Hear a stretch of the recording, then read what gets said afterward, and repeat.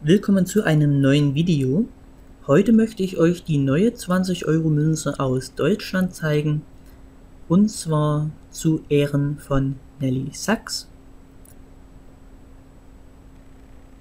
Wurde mir gestern geliefert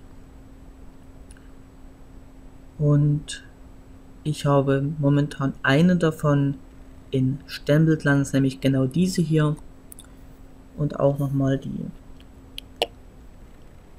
Vorderseite dazu.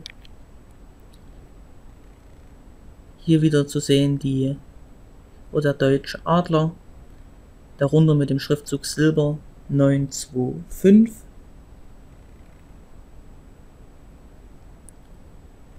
Und das Ganze, wie schon erwähnt, von 2016 Prägestätte F, also Stuttgart.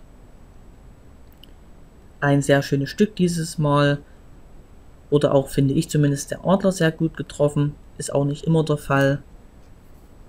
Und auch das Motiv ist dieses Mal gut gewählt, wie ich finde. Genau.